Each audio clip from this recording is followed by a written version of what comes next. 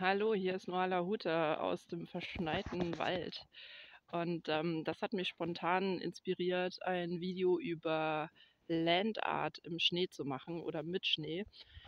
Landart ist ja so ein Thema, das ist relativ bekannt geworden in den letzten Jahren. Also damit ist gemeint, ähm, aus Naturmaterialien ähm, künstlerisch, also Kunstwerke zu erschaffen oder zumindest Muster zu bilden oder überhaupt was zu bauen. Ne? Es kann auch ein Häuschen sein oder dergleichen. Ähm, also dass äh, das, was schon vorhanden ist, genutzt wird und die Schönheit der Natur ja für was für was Neues zu nutzen, ne? ohne dabei irgendwie zerstören oder massiv umwandeln zu müssen, sondern einfach zum Beispiel was auf den Boden zu legen, was irgendwo hoch zu errichten. Ne? Also man kann ja auch einen Baumstamm dafür nutzen, ja, ohne dass der Baumstamm selber verletzt wird. Und da eignen sich natürlich alle möglichen Materialien. Und meistens ist es aber so, dass das dann im Sommer- oder Frühlings- oder vielleicht eher auch Herbstkontext so zur Sprache kommt und eher weniger im Winter. Und da dachte ich mir, da ist doch ein kurzes, knappes Video zu dem Thema ganz schön. Ähm, einfach weil es ähm, in Deutschland ja auch gerade relativ viel schneit. Also es ist gerade eine schöne Gelegenheit, das auch einfach mal umzusetzen, ganz direkt und ähm, Landart nicht nur mit Kindern und Jugendlichen durchzuführen, sei es jetzt in der Gruppenarbeit oder im beruflichen, sondern auch, dass Erwachsene sich einfach mal die Zeit nehmen, um selber ein bisschen runterzukommen und mit der Natur ganz sinnlich in Kontakt zu kommen. Ne? Und auch dieses ähm, äh, Ausfühlen, Austesten, Aushalten dieses kalten Baumaterials, des Schnees, ähm, das mal zu erfahren. Und der Schnee, der ist natürlich äh, ganz toll geeignet, um verschiedene Dinge zu erschaffen. Also sei es irgendwelche Strukturen, ne? ähm, da kann man allein schon mit Fußstapfen ganz viel machen. Also was vorhanden ist, auch nutzen, was schon da ist, also was andere Leute vielleicht schon hinterlassen haben.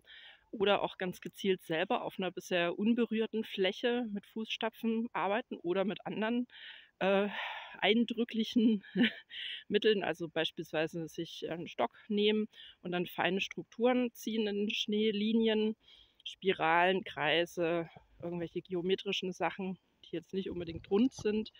Ja, und dann kann man natürlich ganz viele andere Sachen auch mit einfließen lassen. Also beispielsweise, wenn man noch irgendwas übrig hat aus dem Herbst, kann man das dekorativ auf den Schnee legen. Also das sieht natürlich dann auch richtig verrückt aus, weil ähm, wer erwartet irgendwelche ähm, Herbstblätter, Zapfen, vielleicht alten Früchte auf dem Schnee? Ne?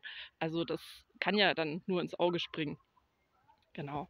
Und genauso kann man mit dem Schnee natürlich nicht nur Iglus bauen, sondern noch ganz andere verrückte Sachen. Also sich ein schönes Winterwichtelhaus aus Schnee zu erbauen, ähm, ist bestimmt witzig, vor allem wenn es begehbare Häuser sind. Na gut, dann ist vielleicht weniger für Wichtel, aber ähm, man kann ja vielleicht auch ein größeres Häuschen mit dazu bauen. Genau, oder man macht halt irgendwas sehr Künstlerisches, was eher in die Skulpturenrichtung angeht. Ne?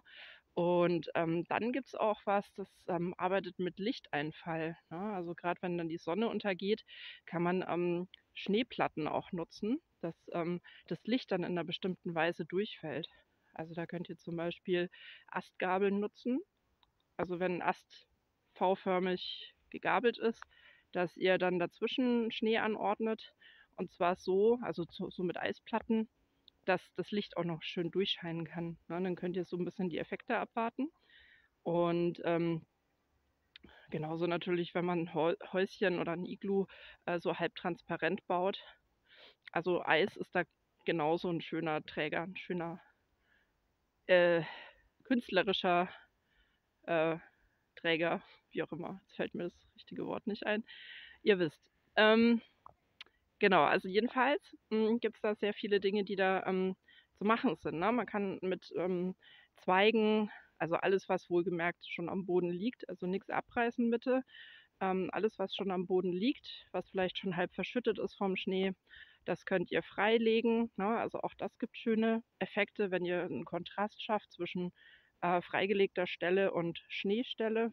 Ja, also allein dadurch lassen sich ja schöne ähm, Muster und Ornamente erstellen oder indem ihr halt dann Sachen da rausholt und die dann oben auf der Schneedecke ausbreitet, hm, vielleicht auch richtig reinsteckt, also dass das dann rausragt oder dass es wirklich in die Höhe gebaut wird. Ne? Also man kann das auch so kombinieren, dass ähm, Schnee immer verbindet zwischen einzelnen Stücken oder Stöcken.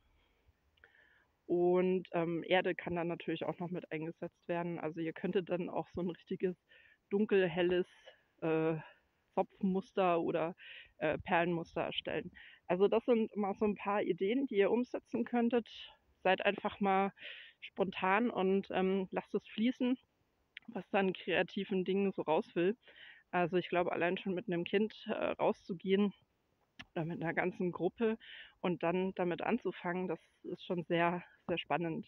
Ja, und da kann man auch wirklich sagen, gut, man macht das auf jeden Fall eine Stunde lang oder länger und ähm, kann es natürlich auch so machen, dass äh, es eine wirkliche Gruppenaufgabe gibt und ähm, es zum Beispiel die Aufgabe ist, dass die Gruppe ein bestimmtes Thema hat und dazu was im Schnee macht oder auch, dass Leute einzeln sich dazu ähm, zurückziehen in ihre kleinen Winkel und da dann was machen mit dem Schnee. Und dann kann man sich das so zeigen wie in so einer Art Ausstellung. Ja, und dann können alle dazu was sagen, wenn sie möchten und es beschreiben.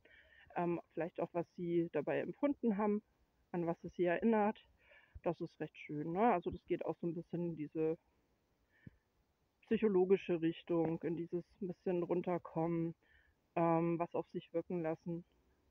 Und ja, das ist einfach schön genießerisch und ruhig. Also dieser Schnee äh, deckt ja auch einfach ganz viel zu und ähm, hat einen sehr wohltuenden Effekt, wenn man es dann zulässt. Ja, genau, das mal als kurzer Input zum Thema Landart im Schnee.